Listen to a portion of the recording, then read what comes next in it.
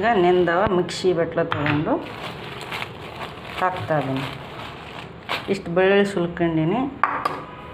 ಬೆಳ್ಳುಳ್ಳಿ, ಮೆಣಸಿನ್ಕಾಯಿ ಎರಡೂ ಸೇರಿಸಿ ಮಿಕ್ಸಿಗೆ ಹಾಕ್ತಾ ಇದ್ದೀನಿ